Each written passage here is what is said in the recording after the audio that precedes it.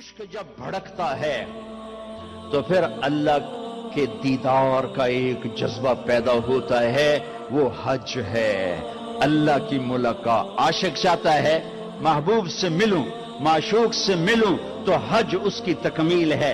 लिहाजा हज में जा रहे हो तो अल्लाह कहता है, हज तो इश्क का सफ़र है तो आशिक बन के आना ये जुब्बे पहन के तो ना अब जुब्बे उतार के आ, अब कफन बाँध के आ, कफन पहन के आ एक चादर ऊपर, एक चादर नीचे। पगड़ी उतार दे, टोपी उतार दे, सुरमा नहीं लगाना, खुशबू नहीं लगानी, कंगी नहीं करनी, खुशबूदार तेल नहीं लगाना, साबुन नहीं लगाना, जुए नहीं मारनी, मैल नहीं उतारनी। क्यों? आशिक बन गया, दीवाना बन गया।